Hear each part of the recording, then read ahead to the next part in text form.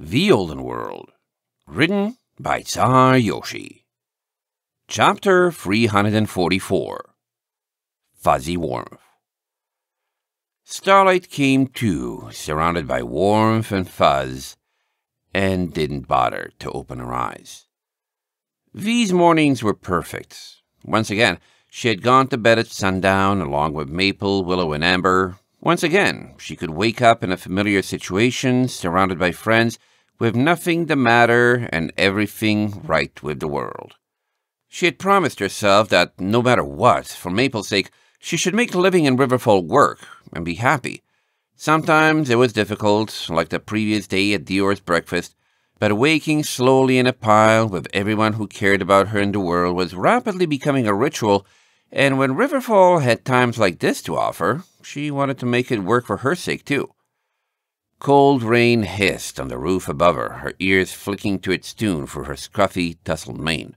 Somewhere, a sliver of chill air made it through the house's insulation and pierced her coat, providing contrast to the warmth of her friends' bodies and making her shiver, snuggling it harder.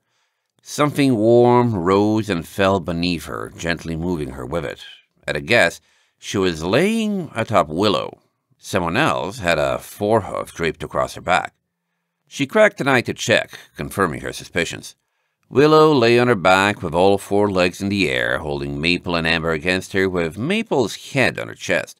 Starlight was curled on Willow's soft, silvery belly, with one ear trapped beneath her head, and not a single errant rib poking into her.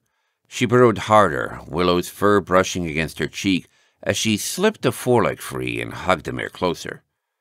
Willow's stomach growled, reminding her that even if she wanted it to, the morning wouldn't last forever. Closing her eyes again and taking in her friend's sense, Starlight listened to the rain, pretending that wouldn't be a concern for a few more minutes. It was raining. That meant that even if she got up, she couldn't go exploring since Maple didn't have any ponchos sized for a filly, and even if she did, the unfinished roads around her house would be muddy and annoying. She didn't want to track mud back to Maple's house, although Maple had been saying they needed a bath. Maybe she could stand out in the rain for a few minutes and call it good, come back, towel off, get back in bed before any of her friends woke up or noticed she was missing. Starlight hummed at the idea, intentionally trying to sound like Maple or Willow. It was probably implausible. They would wake up, if not on their own, when a cold, semi-wet filly crawled into the bed, or maybe they'd take pity on her and stay a while so she could warm up, and warming up was the one thing better than already being warm. She could get some food while she was up, too. The idea was almost as warming as her friends themselves, and before she knew it, she had slipped off Willow's belly, rolled out of Maple's pillow-like bed, and was carried by her hooves to the door. Hey, Valet said as she closed the door behind her, completing the familiar morning ritual. Sleep snugly? I took some peeks and, gah, I am jealous of you and those mares. Maybe I should just take pride in being shameless and slip in there too. Don't know why I don't already. I love disrespecting boundaries in Iron Ridge. She kept her voice low for the sleeping mares, almost, but not quite, a whisper.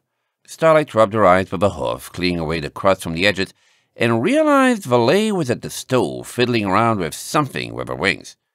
You're cooking? Starlight asked, slightly surprised at the sound of sizzling. Maybe?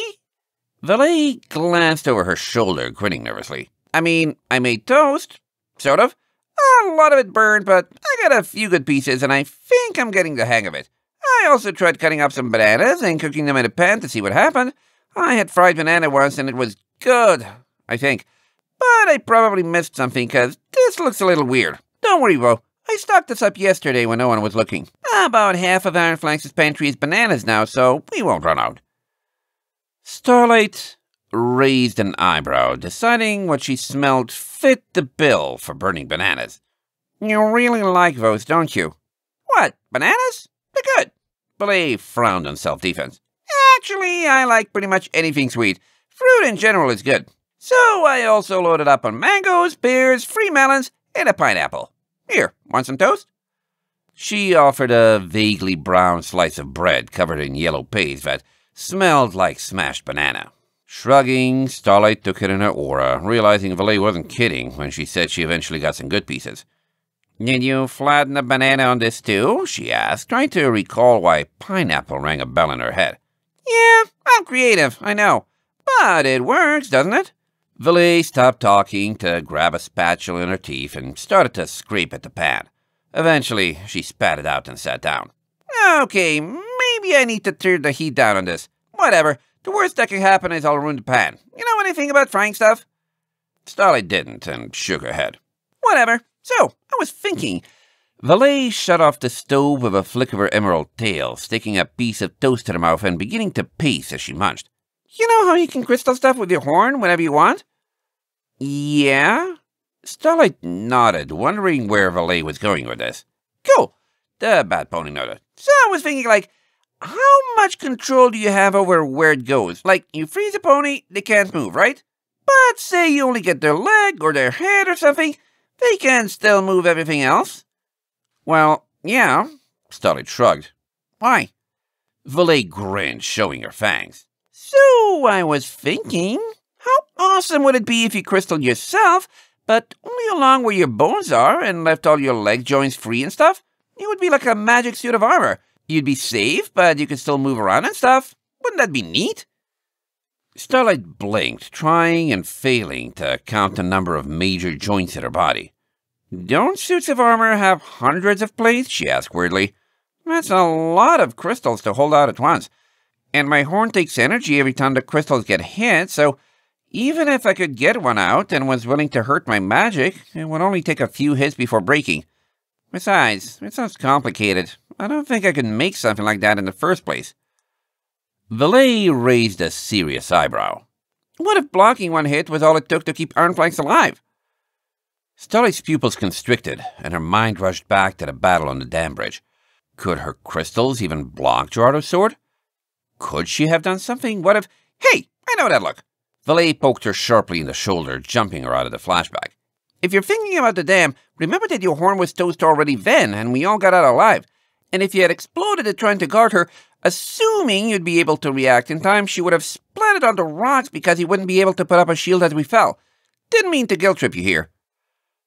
Right, Starlight said, her chest slowly loosening. But Valet had known exactly what image to plant in her mind, consciously or unconsciously, and now, whether a spell like that was possible or not, she still wanted to try. Honestly, magic armor would be pretty useless here anyway, Valet remarked, scooping up another piece of toast and continuing her munching. Doesn't seem like a very violent town. I just thought it would look cool and maybe keep you safe from the rain. She nodded out the window. Like, okay, maybe armor's ridiculous, what if you just crystal your hooves to act like boots in a mud, and made a mushroom or something on your back to be like an umbrella? That's five pieces. Might actually make your life a whole lot better if you could do a spell like that. That was actually a good point. Starlight stared at a forehoof, wondering, and experimentally lit her horn and encased it in crystal. The spell overshot, freezing out through her hoof joint, and the resulting chunk was round and geometric, and would be like walking with balls taped to the undersides of her hoofs. She frowned and let it fade. If she could pull it off, it would take a lot of practice. In the meantime, though, she had a task to get back to. Hopefully, the scent of food wouldn't wake her friends up too early. Starlight headed for the stairs, waving goodbye to Valet as she descended. Where are you going? Valet's head poked after her, a slice of toast held in her mouth. To stand in the rain, Starlight replied. Maple said I needed a bath. Valet shrugged. Well, okay and she went back to her cooking, leaving Starlight to her own devices. The towel rack by the door had been repopulated. That was good. She needed those. Swinging the door aside, Starlight stepped out into the gray morning light, Maple's unroofed porch raining water through the cracks in the boards.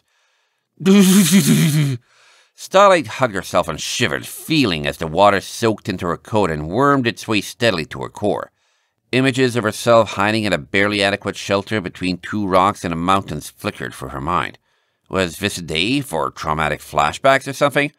Starlight glared at the sky, getting an eyeful of water for her trouble, but didn't back down. If the world wanted her to get a phobia of rain, it would have to try a good deal harder than that. Then, with a wave of icy tingles, the rain reached her skin beneath her coat, and Starlight knew she was done. Suddenly stiff legged and barely able to walk thanks to her trembles, she pushed on the door to open it and go back inside. It snapped free from its hinges, and she barely caught it with telekinesis before it hit the floor. Right. After Jardo broke it, it had only been given a temporary fix, since anything fuller would require replacing the gouged out door frame.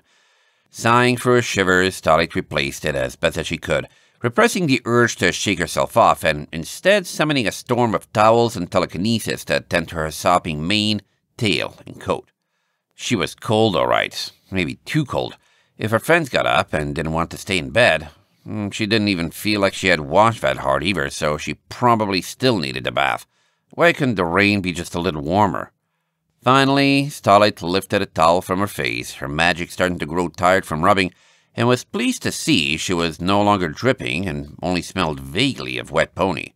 She brushed her coat down. It was still wet, but hopefully not enough that anyone would mind. For good measure, she took a dry towel and rubbed herself off one more time. Yeah, that would do it. Eagerly, still shivering, Starlight trotted up the staircase, beelining back to bed. End of chapter 344.